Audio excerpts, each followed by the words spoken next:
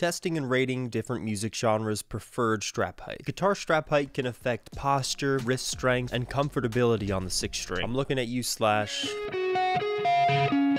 I noticed that quote unquote slinging my guitar limited my playing ability and had me looking like the hunchback of Notre Dame. On the other side of the sky, we have playing towards your chest. I don't mind looking like a nerd as long as my wrists and back aren't paying the price.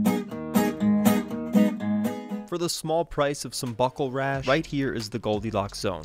Test to see where your arm falls naturally. Adjust accordingly.